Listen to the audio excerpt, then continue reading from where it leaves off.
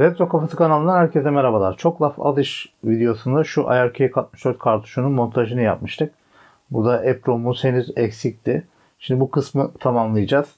EPROM silicim var bir tane. Elimde de EPROM'lar var. Hepsinin sağlığından çok emin değilim. Çalışmayanlar olabilir. Önce hepsini bir sileceğim. Daha sonra programlayacağım. Nostaljik olması açısından bunları kullanmayı düşünüyorum. Cebimizi açalım. Hadi yerleştirelim.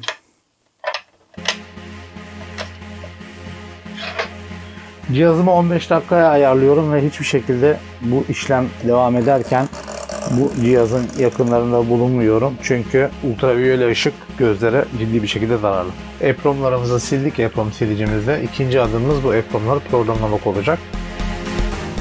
TL866 CS kullanıyorum ben bu iş için. EPROM'umuzu yerleştiriyoruz. EPROM programlayıcı yazılımımızı açıyoruz. Burada öncelikle çipi seçiyoruz. Ben AMD 27C512 çipini kullanıyorum. Bunu seçiyorum. Bit 28.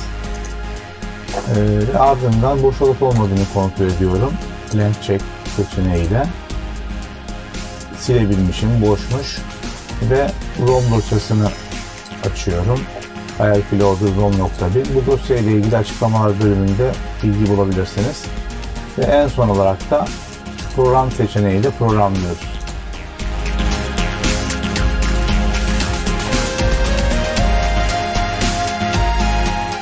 İşlem başarılı. IRK64 kartuşumuza USB'yi TTL'e çeviren şu adaptörle bağlantı yapıyoruz. Burada dikkat etmeniz gereken şey RXT ile TXT'yi karşılıklı cross yapmanız. Yani TTL adaptörün RXT'sini Arduino Pro Mini üzerindeki TXT'ye bağlamanız. Diğeri için de aynı şekilde. Programlama için oluşturduğum batch dosyasını çalıştırıyorum ve ardından şurada tuşuna basıyorum.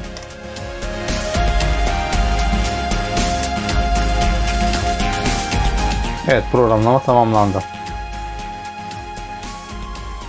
EPROM'umuzu takalım.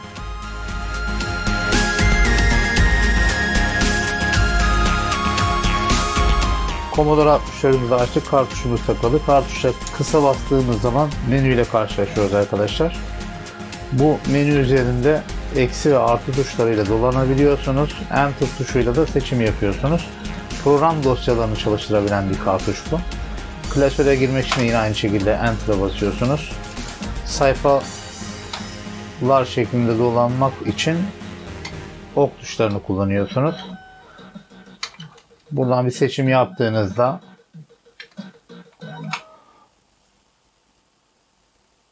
oyunumuz açılıyor. Hızlı bir şekilde açılıyor. Yaklaşık 30 KB saniyede transfer edebilen bir kartuş bu.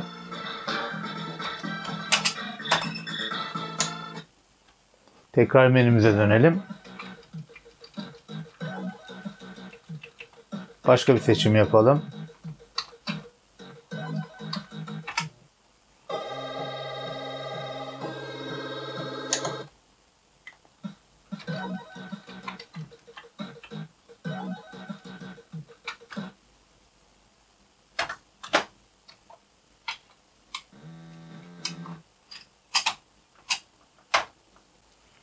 Kartuşun bir diğer fonksiyonu da reset arkadaşlar. Biraz uzun bastığınız zaman Commodore 64'ünüzü resetleyebiliyorsunuz. Tekrar menüye gelelim. Kartuşun bir diğer özelliğinden bahsedeceğim. Autoboot fonksiyonu. Buradan bir tane oyun açalım. Örneğin Microprose Soccer'mış. Açalım.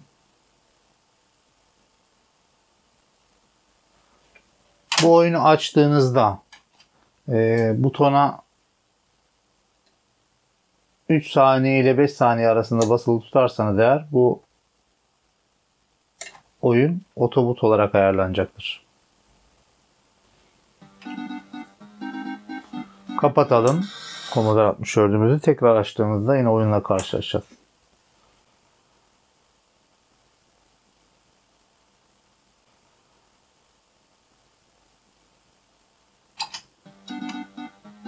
Bu şekilde otobotu iptal etmek için kartuşu reset diyoruz. Commodore 64'ü reset diyoruz. Daha sonra yine burada otobot fonksiyonunu çalıştırıyoruz. 3 saniye 5 saniye arası. Yani ana ekran aslında otobüs olmuş oldu. Açtığımızda oyuna değil Commodore 64'ün basic ekranına gelmiş olacak. Tekrar menüyü açalım. Bir diğer enteresan özelliğini, daha doğrusu enteresan özelliği demeyeyim de yani az önceki gördüğünüz otobot özelliğinin daha değişik kullanımı. Keybutur diye bir tane programımız var. Bu açılışta çalışıp 0 ile 9 arasındaki tuşlarla atanmış olan şurada görmüş olduğunuz programlardan seçili olanı çalıştırmaya yarıyor. Bunu çalıştırıp otobut, otobut fonksiyonunu çalıştırırsanız evet şimdi artık açılışta hangi tuşa bastıysam o tuşa atanmış olan program çalışacak. Mesela sıfıra basıyorum.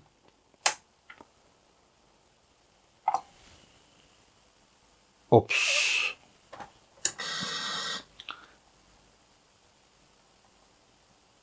Mesela 1'e basayım.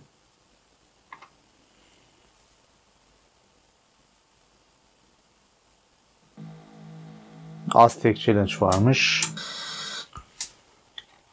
2'ye basayım. GeForce RAM varmış. 3'e basayım. SIM kart varmış. Böylece hızlı bir şekilde bu programları kullanma imkanınız oluyor. 8'e basayım. River Rate varmış.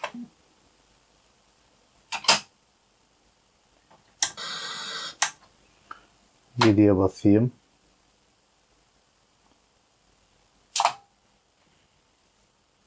Wizard of War varmış. Wizard of War varmış.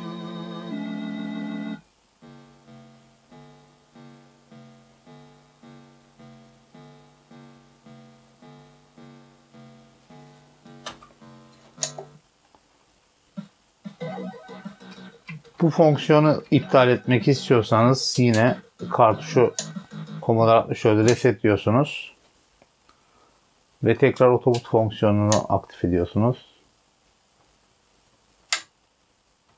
Şu an iptal etmiş olduk. Kartuşun bir diğer özelliği şurada görmüş olduğunuz TTL hatları üzerinden PC'ye bağlantı yapılarak PC'den program gönderilebiliyor kartuşa. Bununla ilgili diğer kanalımda yine video var. Yukarıda linkine ulaşabilirsiniz. Ee, bir de şöyle kartuşun Easy SD adında yeni firmware'i destekleyen basit bir modlanmış hali var. Burada e, bir hattın yeri değişiyor sadece. E, bu firmware'de de yapabildikleriniz hakkında yine bilgiye benim diğer kanalımdan ulaşabilirsiniz. WAV çalabiliyor, e, video oynatabiliyor. Bunun haricinde plugin mantığı var kartuşta. O plugin mantığıyla değişik dosya tiplerini e, menü içerisinden açmak mümkün olabiliyor. İzlediğiniz için teşekkür ederim.